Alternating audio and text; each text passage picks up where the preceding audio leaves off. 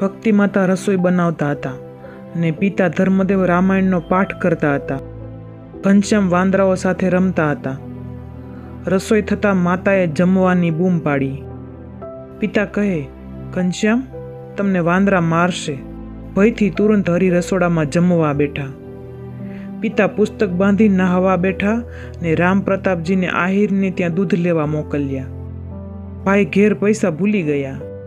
ધનીરામ આહિર કહે, હું તમને ઓળખતો નથી. પૈસા લાવો પહેલા. અંતર્યામી હરિ પોતાનું બીજું હરિરૂપ ધરી પૈસા લઈ આવ્યા ને ધનીરામને પૈસા દઈ બંને ભાઈઓ ઘેર ચાલ્યા. માતા કહે, અરે ઘનશ્યામ તો રસોડામાં છે. રામપ્રતાપભાઈ કહે, માતા, ઘરમાં ક્યાંથી હોય? અમો ધનીરામને ત્યાંથી સાથે ચાલીને આવ્યા. માતા રસોડામાં ગયા.